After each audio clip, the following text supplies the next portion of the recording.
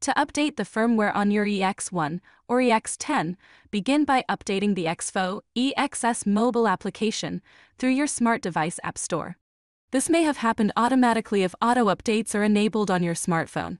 The first time you try to use your EX1 or EX10 following the update to the mobile application, you may see the incompatibility detected message, informing you to update the firmware on the device.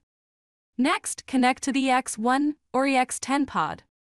Click on EX1 or EX10 to pair with the pod, then accept the agreement. Select the gear icon to configure the device to connect with an available network. Please note that the EX10 and EX1 can be updated with an RJ45 or Wi-Fi connection. Check the network setting and ensure the device has an IP address, then select Download and Install. Please note that during the firmware download and installation, the power button LED on EX1 pod flashes amber. It flashes white on the EX10.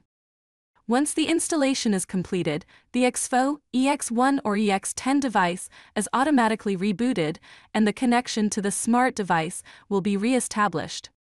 If you see the incompatibility detected message on your screen with the no network connection on 10 100 1000M electrical warning, please follow these steps.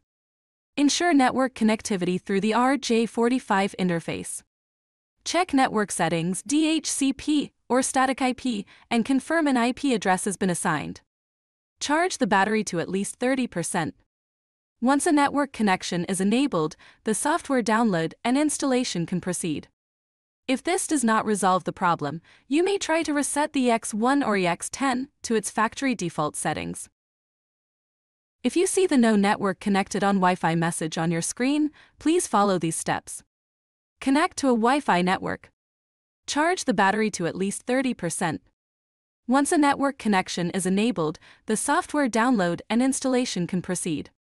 If this does not resolve the problem, you may try to reset the EX1 or EX10 to its factory default settings.